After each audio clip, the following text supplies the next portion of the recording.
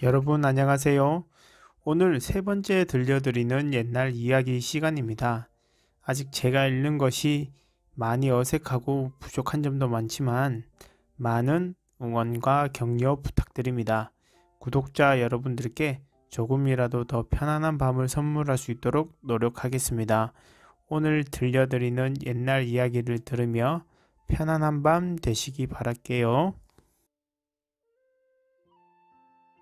오줌을 마신 포졸. 옛날 어느 마을에 술을 아주 좋아하는 농부가 살고 있었습니다. 이 농부는 얼마나 술을 좋아하는지 하루도 거르지 않고 술을 마실 정도였습니다.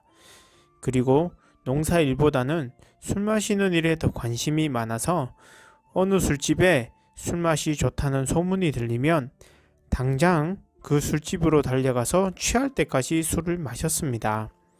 그리고 남은 술은 병에 담아 집에 가지고 와서 또 마시곤 했습니다. 그러던 어느 날 밭에서 일을 하던 농부는 지나가던 마을 사람들로부터 귀가 번쩍 뜨일 만한 소식을 들었습니다. 성 안에 술집이 새로 생겼는데 주인이 술을 기가 막히게 잘 담근다는 것이었습니다. 그 집 술맛이 그렇게 좋다고? 그렇다면 당장 가서 맛을 봐야지. 농부는 일손을 넣고 그 길로 성을 향해 출발했습니다. 성 안으로 들어가려면 성문을 통과해야 했습니다. 그런데 창을 든 표절이 성문 앞을 지키고 있었습니다. 포졸은 성 안에 드나드는 사람들을 한 명씩 불러 세워 짐을 일일이 조사하고 있었습니다. 다행히 아무 짐이 없었던 농부는 무사히 성 안으로 들어갈 수 있었습니다. 농부는 새로 생긴 술집에서 맛있는 술을 실컷 마셨습니다. 그런데 성 밖으로 나가는 길에 문제가 생겼습니다. 술에 취해 비틀거리며 술병을 들고 걸어오는 농부를 포졸이 불러 세운 것이었습니다.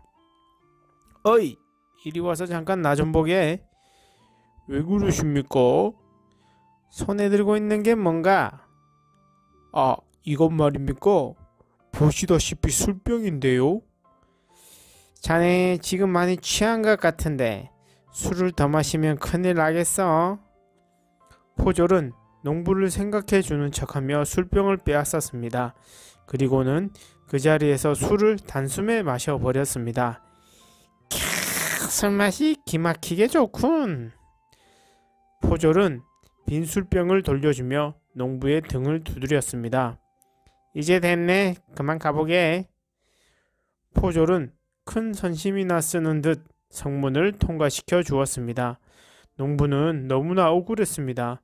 하지만 포졸에게 잘못 보이면 성 안에 드나들지 못하게 될 것 같아 술병을 빼앗기고도 아무 말도 할 수 없었습니다. 그런데 포졸의 횡포는 그것으로 그치지 않았습니다. 그 뒤로도 농부는 성 안의 술집에 자주 드나들었는데 돌아올 때마다 포졸이 술을 빼앗는 것이었습니다.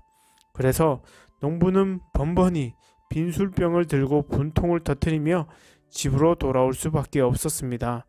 그러던 어느 날 농부는 하도 약이 올라서 포졸에게 이렇게 거짓말을 했습니다. 날이 오늘은 마시지 마십시오. 이건 술이 아니라 제 오줌이거든요. 그러자 포졸은 콧방귀를 뀌었습니다. 뭐라고? 술을 주기 싫으니까 말도 안 되는 거짓말을 따는구나. 아닙니다. 정말 오줌이라니까요. 오줌이라도 좋으니 어서 술평을 내놓게.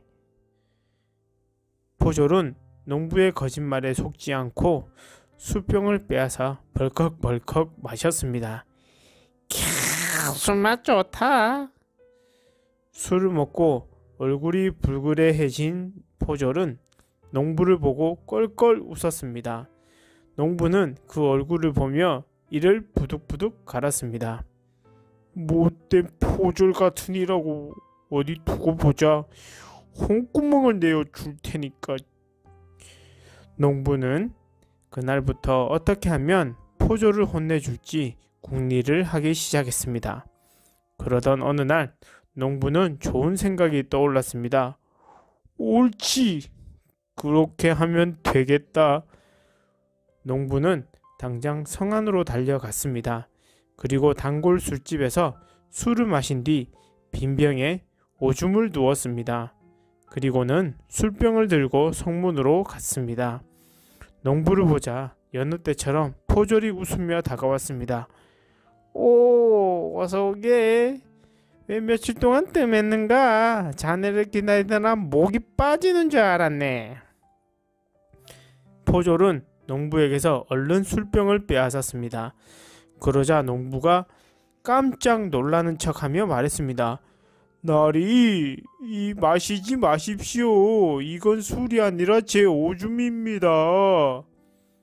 그러나 포졸은 농부의 말을 듣지 않았습니다. 지난번처럼 또 거짓말을 하는구나. 그런다고 내가 또 속아 넘을 줄 아느냐? 어림없는 일이지. 거짓말이 아닙니다. 이번에는 진짜 오줌이라니까요. 그래, 술 맛이 나는 오줌이겠지. 하하하하. 이렇게 말하며 포졸이 술병에 입을 대려 하자 농부가 다급하게 말했습니다. 잠깐만요. 그럼 드시기 전에 약속해 주십시오. 무슨 일 있어도 절대로 화를 내시지 않겠다고요. 알았네. 이렇게 맛있는 술을 마시거든 내가 왜 화를 내겠나. 걱정하지 마시게. 포졸은 말을 마치자마자 술병에 담긴 농부의 오줌을 단숨에 마셔버렸습니다. 우엑! 타타타! 다음 순간 포졸은 배를 움켜쥐고 바닥에 주저앉았습니다. 그리고 마신 오줌을 토해내느라 정신이 없었습니다. 이, 이 이런 못된 놈! 포졸은 화가 머리 끝까지 치밀어 올랐지만 농부와 약속을 한 터라 화를 낼 수도 없었습니다. 포졸을 골탕 먹인 농부는 콧노래를 부르며 유유히 성문을 빠져나갔답니다. 집동이 웃는 까닭 옛날 어느 마을에 개똥이란 사람이 살았는데 마음이 아주 착하고 순박했어요. 그런데 한 가지 흠이라면 흠인 것이 머리가 조금 나빴던 모양이에요. 그래서 더러 덜 떨어졌다는 소리도 들었지요. 그래도 장가는 아주 잘 들어서 색시가 참 예쁘고 똑똑했어요. 그런데 그 아랫마을에는 아주 약삭 빠른 건달 두 녀석이 살았습니다. 이 건달들이 가만히 생각해보니 개똥이가 너무나 부럽기 그지 없었단 말이에요. 이야, 세상에 참 불공평하기도 하지. 그 덜 떨어진 개똥이 녀석이 잘난 색시를 얻었으니 돼지 목에 진주 목걸이가 아니고 뭐냐? 누가 아니래. 그래서 말인데 우리가 그 녀석의 색시를 빼앗아 버리자. 그래서 이 녀석들이 서로 짰어요. 꾀를 내서 개똥이 색시를 뺏기로 말이죠. 건달들이 개똥이를 불러내 살살 꿰었습니다. 여보게 개똥이 우리 심심한데 내기나 하세. 무슨 내기인데? 이야기 내기. 돌아가면서 이야기를 하나씩 하는 걸세. 우리가 못하면 우리 재산을 자네에게 주고 자네가 못하면 자네 색시를 우리한테 주는 걸로. 덜 떨어진 개똥이는 영문도 모르고 그러자고 했어요. 한 건달 녀석이 이야기를 시작했지요. 내가 그 전에 장사를 할 땐데 말이야.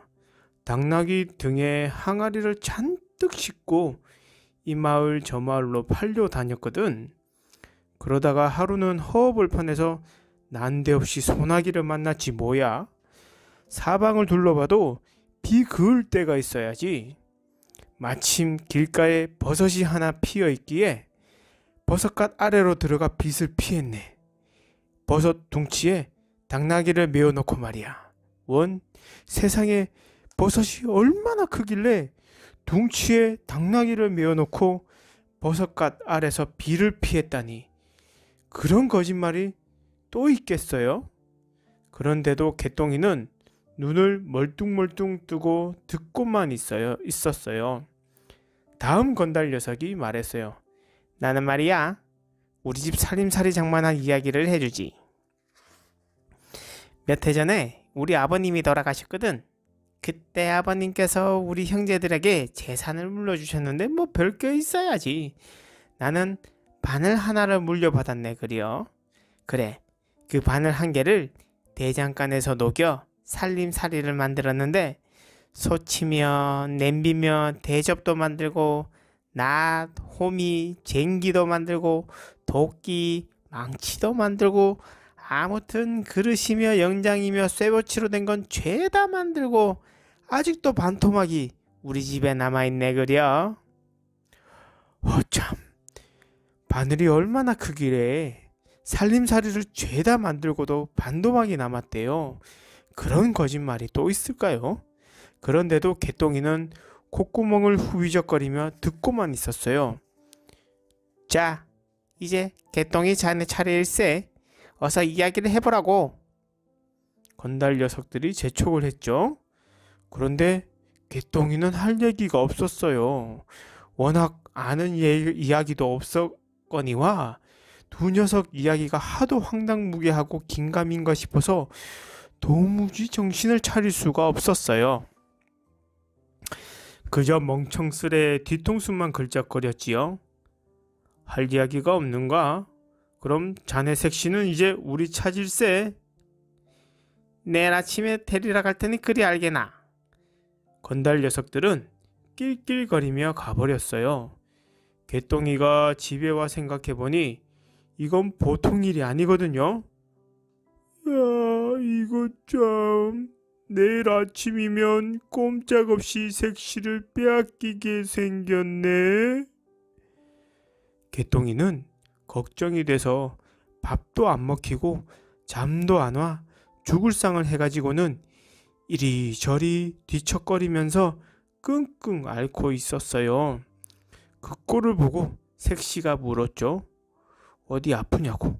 무슨 걱정이 있느냐고? 그러니 개똥이가 한숨을 푹 쉬며 털어놓았어요. 이러쿵 저러쿵 해서 여차여차 했다고. 그러니까 색시가 한다는 말이 거참 잘 됐소. 안 그래도 당신이랑 같이 살기 싫었는데. 이러는 게 아니겠어요? 개똥이는 더 죽을 상이 되었지요. 눈물까지 뚝뚝 흘리면서 아주 몸살 앓는 소리를 내. 아이고, 이제 영락없는 오라비가 되었네. 아이고, 서러워 어쩌나, 아이고, 아이고. 그러자 색시가 깔깔 웃으며 말했어요. 여보, 걱정 마오. 내가 설마하니 그 건달들에게 빼앗겨 갈성 싶소? 아무 걱정 말고 푹 주무시구려. 그 대신 다음부터는 그런 터무니없는 내길랑은 아예 하지 마오.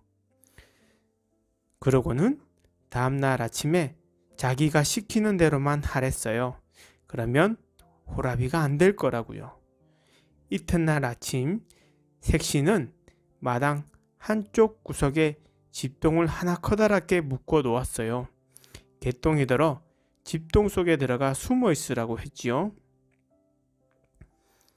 그 사람이 찾아오면 내가 이러쿵 저러쿵 말을 할 테니 당신은 집동을 쓴 채로 대굴대굴 구르면서 깔깔 웃기만 하세요. 그렇게 해서 집동을 쓴 개똥인지 개똥을 품은 집동인지가 마당 한쪽에 서 있게 되었어요. 이윽고 건달 녀석들이 찾아왔어요. 거드름을 잔뜩 피우며 개똥이를 불렀죠. 어흠, 이보게 개똥이 집에 있나? 그러자 색시가 시치미를 뚝 떼고 거짓 대답을 하는데 이게 아주 걸작이었어요. 남편은 아침 일찍 사냥을 갔는데요. 어쩌녁에 고양이가 낳은 강아지하고 오늘 아침에 닭이 낳은 매새끼를 데리고 나무 없는 산으로 꽁 잡으러 갔어요. 아참! 촉 없는 화살과 시위 없는 활도 들고 갔지요. 이러거든요. 거짓말도 이쯤 되면 금메달감이죠. 그러니 건달들이 너무 어처구니가 없었어요. 색시를 보고 버럭 소리를 질렀죠. 예, 끼어보쇼. 무엇이 어째요? 고양이가 강아지를 어떻게 낳으며 닭이 매를 어떻게 낳는단 말이오. 그건 그렇다 치더라도 하루 강아지랑 하루 매새끼를 데리고 무슨 사냥을 나가요? 에, 또 나무 없는 삶은 어디 있으며 그런 산에 꿩사냥은 웬 말이람? 게다가 촉 없는 화살에 시위 없는 활을 들고 갔다니 세상에 그런 말도 안 되는 소리가 어디 있어? 그 말이 떨어지기 무섭게 색시가 맞받아 고함을 쳤어요. 아니 그럼 버섯 둥치에 당나귀를 메고 버섯갓 아래서 비를 피했다는 건 말이 되는 소리요? 바늘 한 개로 온갖 살림살이를 죄 만들고도 반도막이 남았다는 건 또 어떻고 예끼 여보셔 그런 거짓말을 하면 저기 저 집동도 웃는 법이요. 그러자 정말로 마당에 서 있던 집동이 갑자기 픽 쓰러지더니 대굴대굴 구르며 깔깔 웃지 뭐겠어요. 색시가 이때다 하고 호통을 쳤지요. 저것 보시오. 집동이다 웃지 않소. 그러니 건달들 꼴이 어떻게 됐겠어요? 어, 이게 어찌 된 일이야? 말문이 꽉 막혀서 얼굴이 벌게 가지고는 뒤도 안 돌아보고 주랭랑을 쳐버렸어요. 그렇게 해서 개똥이는 호라비 신세를 면했답니다. 이래서 그 뒤로 사람들은 누가 말도 안 되는 소리를 하면 예끼 집동이다 웃겠다 는 말을 하게 되었다는 거예요. 어때요? 내 얘기가. 이건 집동이 웃을 일은 아니죠? 구슬나무와 옥샘 백두산이 올려다 보이는 도택마을에 천덕이라는 총각이 있었습니다. 천덕이의 아버지는 원래 포수였으며 장수였습니다. 아버지는 전쟁에 나갔다가 고향으로 돌아오지 못하였습니다. 얼마 후 어머니도 병으로 돌아가시고 천덕이는 9살 때부터 혼자 살았습니다. 천덕이는 아버지가 물려준 장검과 활을 가지고 칼쓰기와 활쏘기를 익혔습니다. 아버지의 유언대로 장수가 되기 위해서였습니다. 어느 날 천덕이는 소백산 넘어 곰산으로 사냥을 떠나게 되었습니다. 하늘 위로 독수리 한 마리가 유유히 날아가고 있었습니다. 천덕이는 활을 들고 독수리를 겨냥하여 하늘에 쏘았습니다. 화살을 맞은 독수리가 때마침 어슬렁거리며 지나가던 곰의 머리 위로 떨어졌습니다. 아차! 내가 잠자는 곰을 놀라게 했구나. 천덕이는 곰의 눈치를 살피며 천천히 활을 거두고 장검을 뽑아 들었습니다. 내 놈이 오늘 나와 걸어, 겨뤄볼 상대란 말이지. 곰은 앞발을 들고 입을 벌리며 으르렁 댔습니다. 장검을 든 천덕이가 눈을 부릅뜨고 노려보았습니다. 그러자 곰은 앞발을 공손히 내리더니 주덩이를 풀숲에 이리저리 비볐습니다. 천덕이는 독수리를 안고 마을로 돌아왔습니다. 곰은 사방을 두리번거리더니 어슬렁어슬렁 천덕이의 뒤를 따라왔습니다. 어느덧 날이 어두워졌습니다. 천덕이는 갑자기 길가에 푹 쓰러지고 말았습니다. 하얀 두루마기를 입고 지팡이를 짚은 백발의 노인이 나타났습니다. 천덕아, 너의 용맹과 너그러움을 이미 보고 왔다. 내가 사는 도택 마을의 장수는 얼마나 있느냐? 천덕이는 입이 얼어붙은 듯 대답을 할 수가 없었습니다. 너의 뜻은 크나 혼자 힘으로는 이룰 수 없는 일이다. 내가 갔던 곰산의 깊은 골짜기를 지나면 백두산 폭포가 있다. 그 폭포 위를 오르면 보석이 달린 구슬나무가 있고 그 밑에 옥샘이 있느니라. 누구든지 그 구슬 하나만 간직하게 되면 장수가 될 수 있을 것이다. 갑자기 회오리 바람이 몰아치더니 실령은 어디론가 사라졌습니다. 아이 차가워. 천덕이가 눈을 떠보니 곰이 앞발로 이슬을 모아 이마에 적셔주는 것이었습니다. 곰아, 내가 나를 밤새도록 지켜주었구나. 천덕이는 곰과 백두산 신령님을 생각하니 마음이 따뜻해졌습니다. 그 사이 곰은 어디론가 사라지고 없었습니다. 사흘 후 이른 새벽이었습니다. 천덕이는 마을에서 제일 친한 승비와 함께 백두산 폭포로 길을 떠났습니다. 까마득한 높이의 벼랑 꼭대기에서 하얀 물줄기가 쏟아져 내렸습니다. 천덕아, 저것 좀 봐. 백두산 폭포의 물줄기야. 천덕이와 승비는 신비로운 광경에 넋을 놓고 있었습니다. 백두산 폭포의 절벽을 넘어섰는데 멀리 불빛이 보였습니다. 천덕아, 더는 못 갈 것 같으니 저기 가서 쉴 곳이나 알아보자. 글쎄, 이런 곳에 사람 사는 것이 이상하긴 한데... 천덕이와 승비는 빛이 있는 곳으로 걸어갔습니다. 기둥과 벽, 지붕까지 금은 보석으로 다듬어 세운 집이었습니다. 누구 없소? 여기 안 계시오? 천덕이가 여러 번 문을 두드리고서야 문이 사르륵 열렸습니다. 방 안에는 노인과 딸이 하얀 옷차림을 하고 앉아 있었습니다. 어서 오세요. 백두산 신녀님께서 귀한 손님이 올 거라고 말씀해 주셨습니다. 노인과 딸은 저녁 상까지 차려주면서 정성을 다해 대접했습니다. 정말 고맙습니다. 우리는 백두산 밤경지, 밤경치를 보고 싶어 그러니 잠깐 뜰에 나가 보겠습니다. 천덕이와 승비는 어딘지 미심쩍어서 가만히 앉아 있을 수가 없었습니다. 아무래도 이상해. 우리 포수 할아버지가 준 범가죽 털 저고리를 덮고 밤을 보내도록 하자. 이때 방 안에서는 노인과 딸이 수군거렸습니다. 저놈들이 우리의 구슬나무를 꺾으러 왔구나. 우리가 주는 독주를 한 모금도 마시지 않았으니 뜰에 가서 이 부채로 돌을 만들어 버려야겠다. 이윽고 부채를 든 딸은 뒤꿈치를 들고 천덕이와 승비에게로 살금살금 다가갔습니다. 아! 법, 범이다! 딸은 갑자기 기겁을 하며 방 안으로 뛰어 들어갔습니다. 그 소리에 천덕이가 벌떡 일어났습니다. 딸은 급하게 뛰어가다 문지방에 다리가 걸려 넘어졌습니다. 넘어지면서 치맛자락이 벌어지더니 긴 꼬리가 보였습니다. 꼬꼬 꼬리다! 천덕이는 장검을 뽑아 노인과 칼을 노인과 딸을 칼로 내리쳤습니다. 순간 꽝 하는 소리와 함께 방 안에는 황소같이 큰 여우 두 마리가 누워 있었습니다. 집은 온데간데 없이 사라지고 그 자리에 진주 보석이 주렁주렁 달린 나무 한 그루가 서 있었습니다. 승비야, 구슬나무야. 백두산 신령님께서 구슬 한 알만 가지면 장수가 된다고 하셨잖아.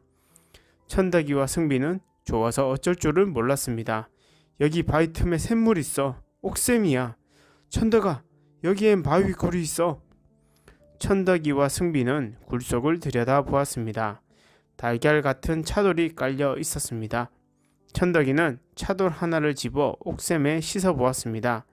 새하얀 차돌은 서서히 분홍빛으로 변하더니 투구와 갑옷을 입고 활과 검을 찬 장수가 되었습니다.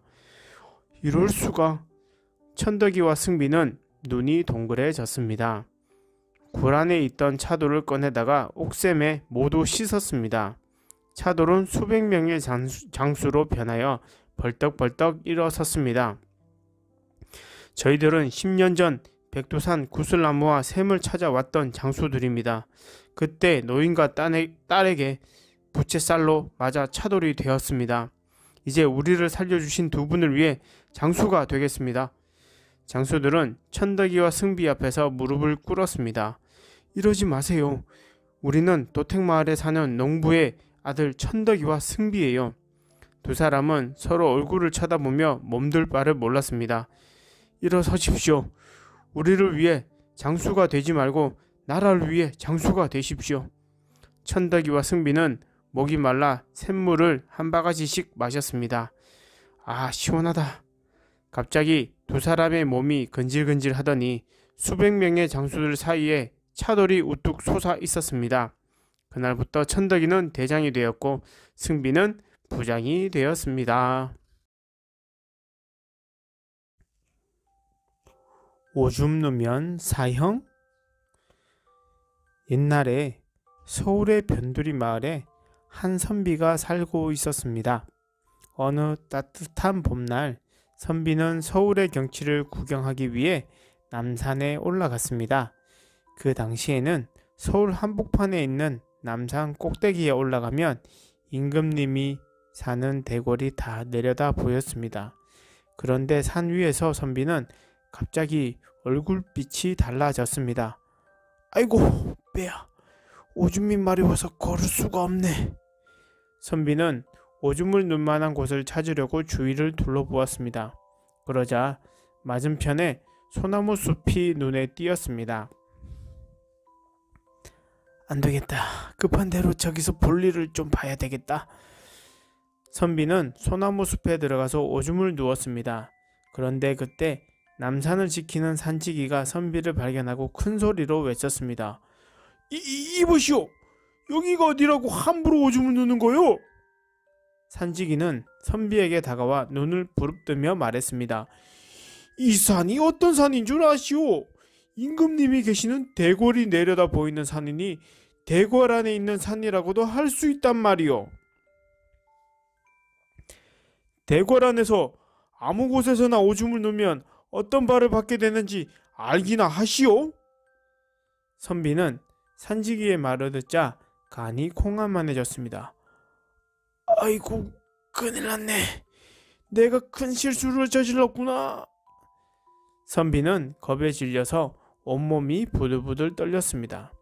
그러자 산지기는 기세가 등등해져서 선비를 잡아먹을 듯이 노래보며 더욱 목소리를 높이는 것이었습니다. 대궐에서 함부로 오줌을 누면 사형이란 말이오. 사형, 죽을 죄를 지었으니 당장 포도청으로 갑시다. 이렇게 말하며 산지기가 선비의 팔을 잡아 끌자 선비는 새파랗게 질려 땅에 엎드렸습니다. 아무것도 모르고 지은 죄인이 제발 목숨만 살려주시오. 그러면서 선비는 주머니를 털어 있는 돈을 다 꺼내 놓았습니다. 내가 가지고 있는 돈은 이게 전부요. 다 줄 테니 한 번만 모르는 적눈 감아 주시오. 산지기는 선비가 돈을 내밀자 조금 전과는 달리 부드러운 목소리로 물었습니다. 허허, 이 돈을 다 주시겠다고요? 그게 정말이요? 아, 물론이지요. 모두 가져가시오. 이게 전부 얼마요? 열량이요. 열량? 흠, 그 정도 돈으로 눈을 감아 달라고? 안 되겠소. 같이 포도총으로 가야겠소. 산지기가 선비의 팔을 잡아 끌자 선비가 다급하게 말했습니다. 돈이 부족하면 더 주겠소. 우리 집을 알려줄 테니 내일 꼭 받으러 오시오. 선비와 산지기가 단단히 약속을 하고서야 겨우 남산에서 내려올 수 있었습니다. 다음날 아침 일찍 산지기가 선비의 집을 찾아왔습니다. 선비는 산지기에게 약속대로 돈을 더 주었습니다.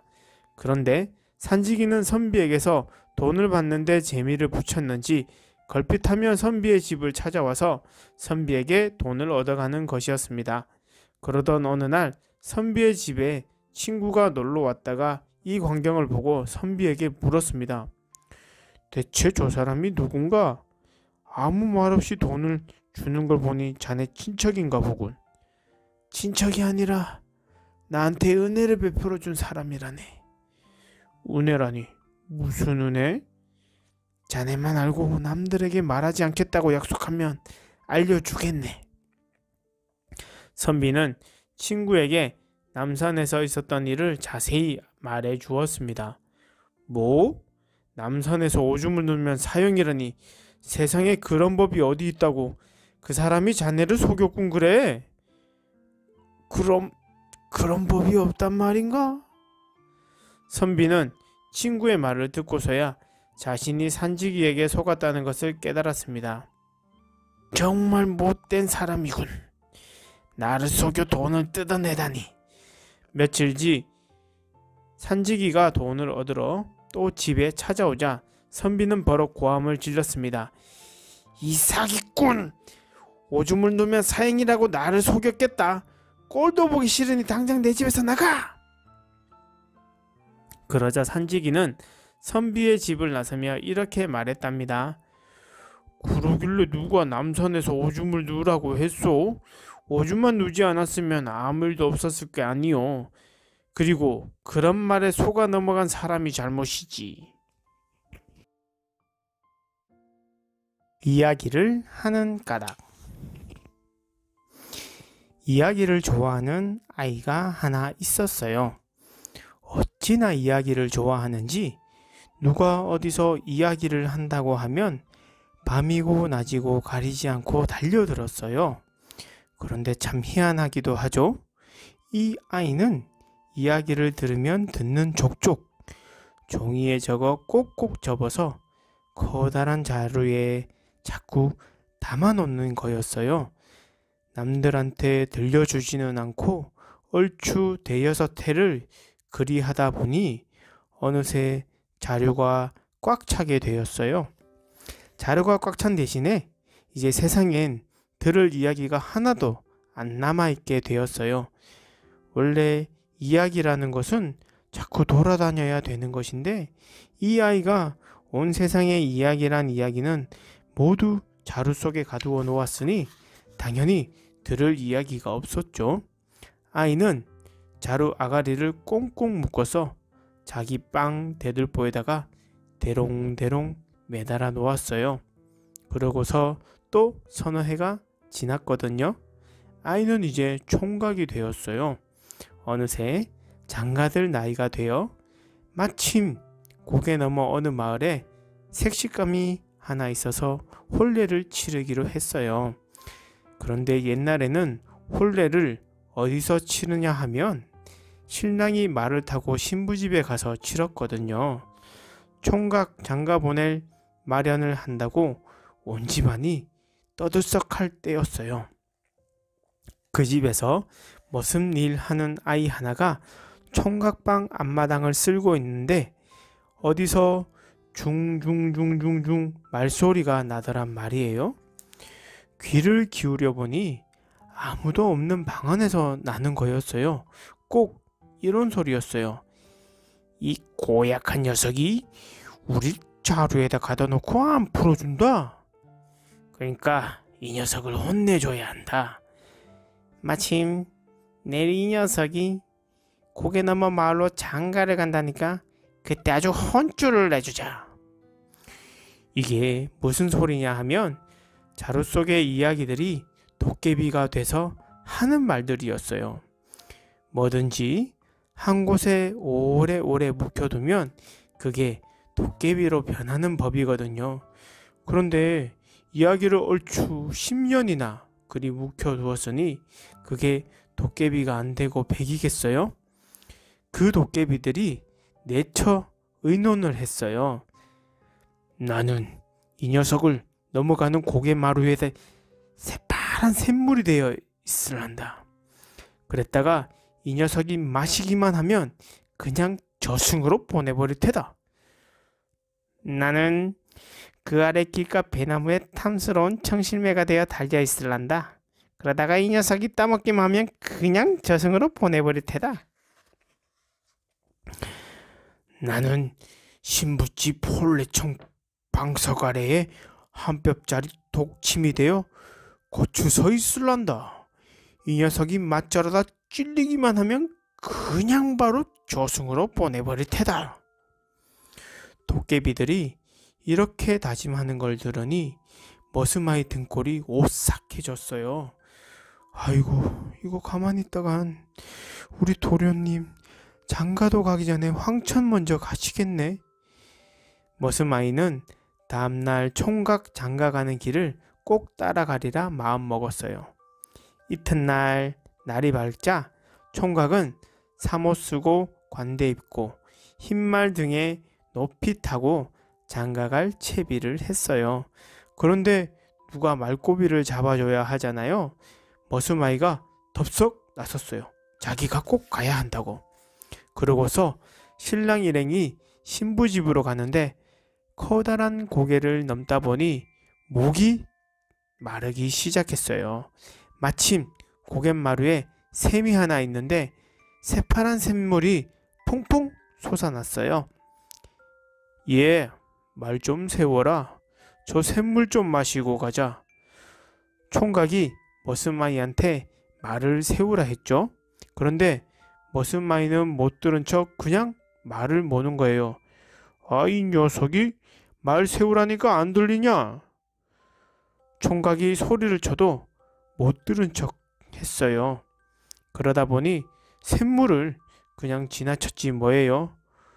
호호, 이 녀석이 왜 따라 나서서 물도 못 마시게 하나? 총각이 투덜투덜 거렸어요. 그러고서 조금 지나다 보니 이번엔 길가에 배나무가 하나 서 있었는데 먹음직스런 청실배가 주렁주렁 달려 있었죠.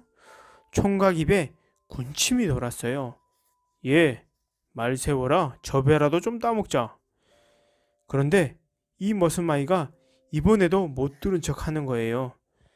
그래, 총각이 생각하기를 이 녀석이 가는 기가 먹었나 보다 하고는 말에 단체 손을 뻗어 배를 따려고 했어요.